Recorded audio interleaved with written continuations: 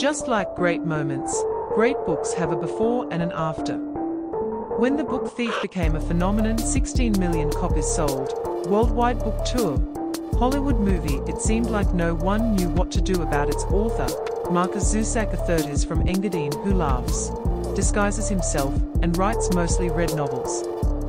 Having produced a best-selling novel Young Australians, and set in what is now Nazi Germany, in the form of a 500-page novella narrated by Death. With his next book not out soon, Bridge of Clay would take 13 years to publish. Hungry readers turned instead to Zusak's previous book, The Messenger, which is about begin an ABC adaptation.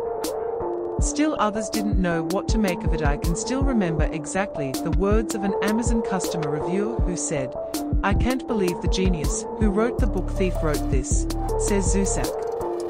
This single review impressed Zusak so much that he didn't want UK publishers to publish The Messenger because he feared it would be marketed as The Messenger.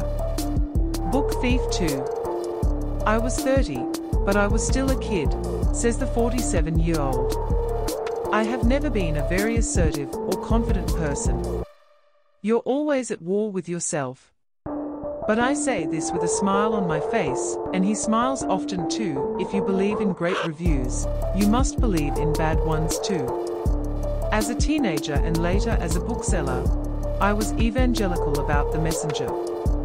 For a while, nothing spoke to me as much as this weird novel that follows Ed Kennedy, a hapless young taxi driver who starts receiving mysterious playing cards in the mail. Each has addresses or clues written on it, leading him to complete strangers who need help in ways he needs to explore. The eight part arc sees Ed coming up with solutions that range from small acts of kindness to outright deception and violence. He befriends an old woman who thinks has his wife, gets an abusive husband, and tries to unite two brothers who are fighting, among other tasks. His friends Audrey, Richie and Marv watch Ed's life steadily go on with tasks assigned to him by a mysterious task manager, and identified if the series is following book. As a book, The Messenger draws the line between young adult fiction and adult fiction, as all of Zusak's heartfelt books do. Another feature once made Zusak hard spot now, we can probably say that has the Australian answer to US questions.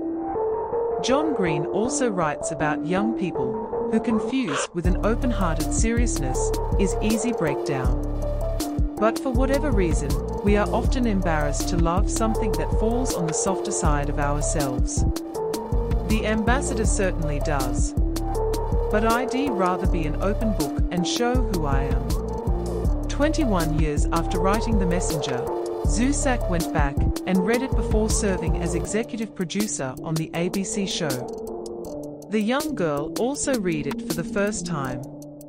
He said, Well, if it's going to be on TV, I guess I should, he said with a laugh. Has always been very indecisive about my